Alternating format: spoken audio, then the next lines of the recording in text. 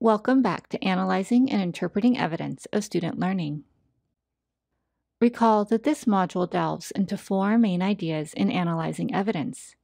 They are analyze relative to your learning goals and success criteria, compare evidence to a likely range of student responses, use multiple sources and in the moment evidence, and take account of students' prior knowledge and experience.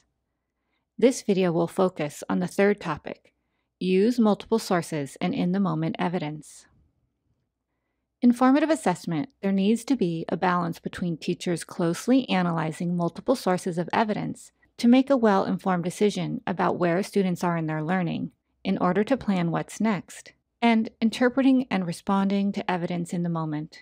Sometimes teachers set aside dedicated time to really pore over their evidence, and sometimes they need to analyze evidence very quickly, making in the moment interpretations during the lesson.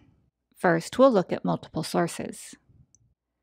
As noted in the section on gathering evidence, when teachers collect and analyze evidence from multiple sources related to a single learning goal, they can make well informed decisions about where students are in their learning. Fritz Mosher points out why. How do I know this isn't a fluke or artifact of what is going on today, including whether the student may have gotten up on the wrong side of the bed? Do I know enough to rule that out, or do I have to try again, another brighter day?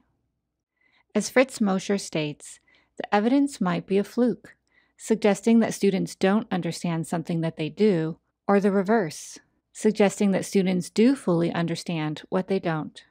When teachers doubt the accuracy of the evidence based on their prior work with students, they will need to collect additional evidence.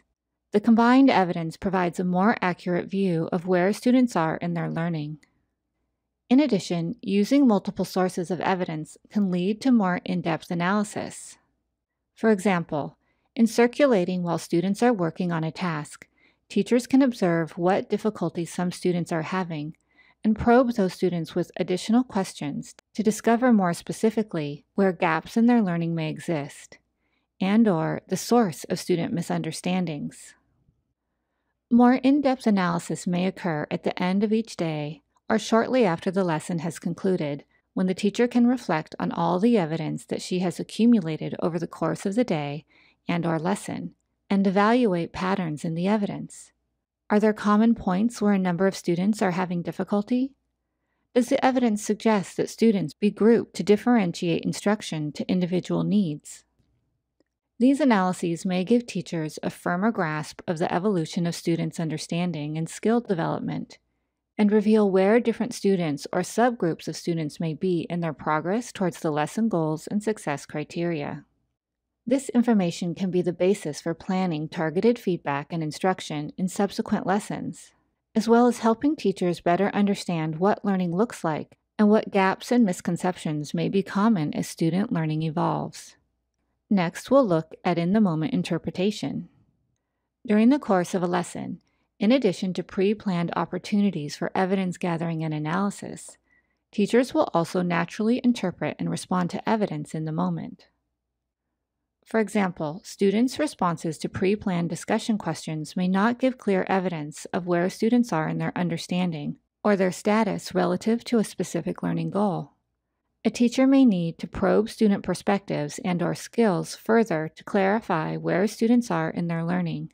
Or as mentioned above, as teachers observe student work during the course of a lesson, they may use in the moment questions to probe where students are. This is particularly important for students who appear to be struggling to discover and respond to the source of their difficulty. Additionally, when the pre planned evidence does not provide a clear picture, the teacher may need to ask students to show their thinking in a different way to get a better sense of where they are in their learning. It's important to note that the same probing that enables teachers to better analyze where students are in their understandings can help students to clarify their thinking and close learning gaps. Now we'll pause and reflect. Think of a situation in your classroom where you didn't have all the information you needed to know students' learning status. What additional sources of evidence would have been helpful for you at that time? Recall a time when you have gathered in the moment evidence How did this evidence help you to adjust your instruction or feedback? Pause the video a moment to reflect on these questions. Thank you. You have completed the third section of the module on analyzing evidence of student learning. This video draws on training modules created by CRESST for the Colorado Department of Education.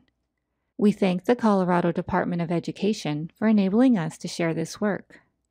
We are also grateful to the following individuals for their contributions to these modules. Brenda Padletti Sullivan, David Sullivan, Anjanette Williston, and Angela Landrum.